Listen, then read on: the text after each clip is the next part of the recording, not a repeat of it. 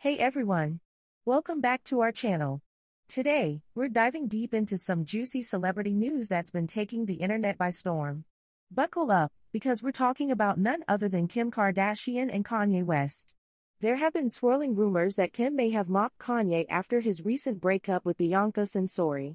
What does this mean for their complicated relationship? Let's break it down.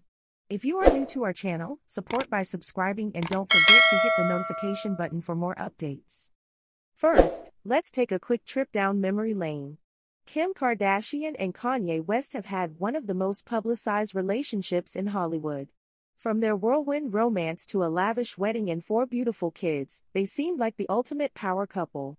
But as many of you know, things took a turn, leading to their divorce in 2021. Their split was filled with drama, headlines, and a lot of speculation about how their lives would unfold post divorce.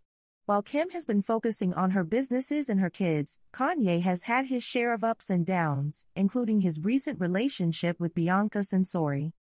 Now, speaking of Bianca Censori, reports indicate that Kanye and Bianca's relationship has hit a rocky patch.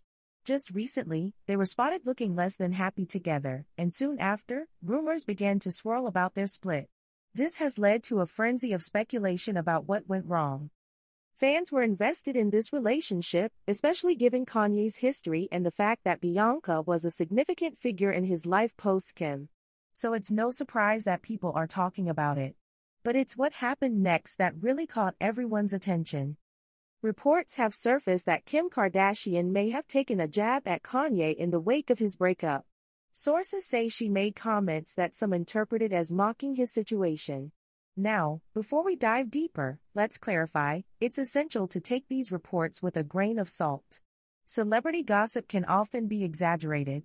However, if you look at Kim's recent social media activity, she posted some cryptic messages that fans have taken as potential digs at Kanye. One post, in particular, featured a caption about knowing your worth, which many interpreted as a subtle reference to Kanye's struggles in relationships.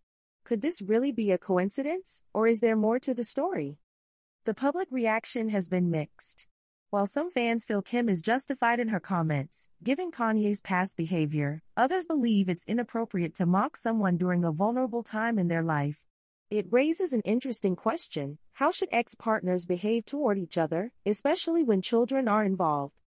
Many people are pointing out that co parenting requires a level of maturity and respect, regardless of personal feelings.